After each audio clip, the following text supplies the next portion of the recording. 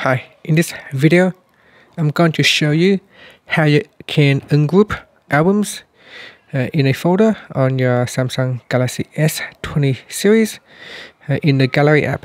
Now first tap on the home key to go back to your home screen. And then we're going to swipe up to go into the app screen. Next tap on the Gallery app. And then in here, tap on the group that you want to ungroup. So say I want to ungroup this one here. So touch and hold then you can see once you're in edit mode, there is an ungroup button. So tap on ungroup and that will allow you to ungroup the albums.